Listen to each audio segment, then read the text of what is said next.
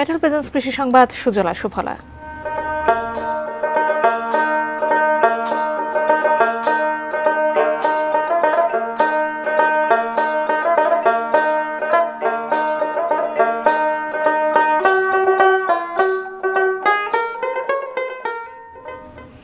কুষ্টিয়ায় গ্রীষ্মকালীন তরমুজ চাষ করে ব্যাপক সাফল্য পেয়েছেন কৃষকেরা। ক্ষতিকর তামাক চাষ থেকে মুখ ফিরিয়ে তরমুজ চাষে আগ্রহ বেড়েছে কৃষকদের। কৃষি বিভাগ জানায়, চলতি খরিফ এক মৌসুমে কুষ্টিয়ায় প্রায় দশ হেক্টর জমিতে সূর্যডিম ব্ল্যাকবেরি ও গোল্ডেন ক্লাউন সহ বিভিন্ন জাতের ও রঙের গ্রীষ্মকালীন তরমুজ চাষ হয়েছে।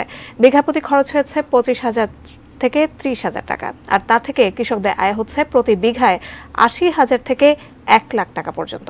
বাড়ির আঙিনায় বা পতিত জমিতে ফেলে না রেখে আধুনিক মালচিং পদ্ধতিতে স্বল্প সময়ে লাভজনক ও অর্থকরী ফল তরমুজ চাষ করে স্বাবলম্বী হওয়া যায়।